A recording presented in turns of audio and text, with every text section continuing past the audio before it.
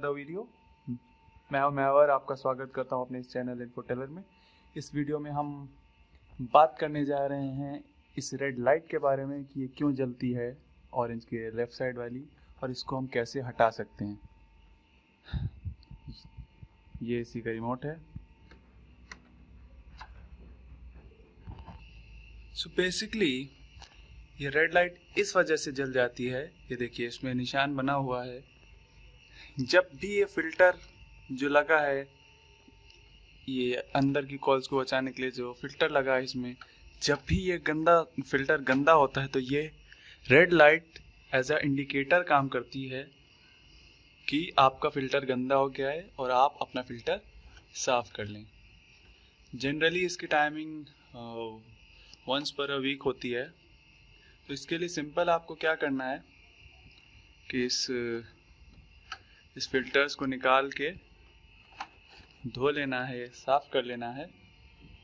और एसी बंद रहने के साथ साथ आपको ये फ़िल्टर सेंटर फ़िल्टर बटन जो दिखा रहे हैं, इसको आपको दबा लेना है।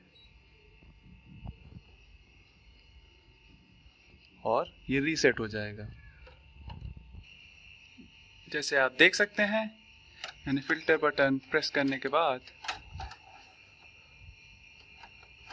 इसको भी फिल्टर्स को भी धो लिया है।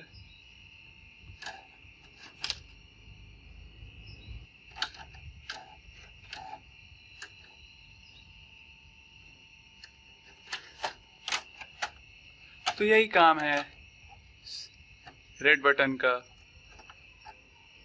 कि वो एज ए इंडिकेटर काम करती है आपको बताने के लिए कि हाँ आपका फ़िल्टर गंदा हो गया है और आप फ़िल्टर को साफ़ कर लें।